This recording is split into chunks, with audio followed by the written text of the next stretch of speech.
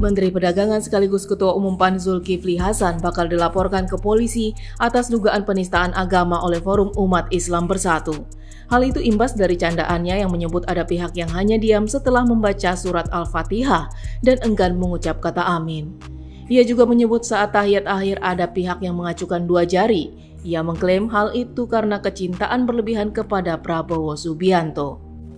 Jadi kalau soal maghrib baca Al-Fatihah. Walad dolin. Ada yang diem sekarang pak? Ada yang diem sekarang? Ada pak sekarang diem. Loh kok nggak nggak ada?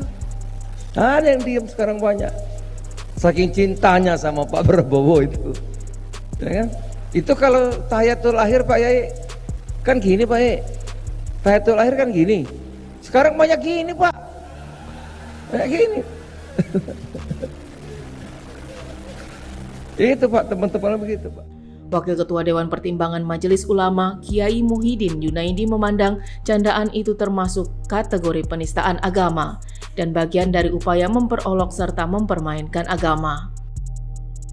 Lebih lanjut, ia menilai candaan itu diduga kuat sebagai upaya melecehkan agama demi kepentingan politik. Untuk itu ia meminta MUI untuk memanggil Zulhas guna memberikan klarifikasi terkait pernyataannya. Jika tidak, ada banyak pihak yang akan mengadukan Zulhas karena dianggap telah menistakan agama Islam. Tim UTV mengabarkan.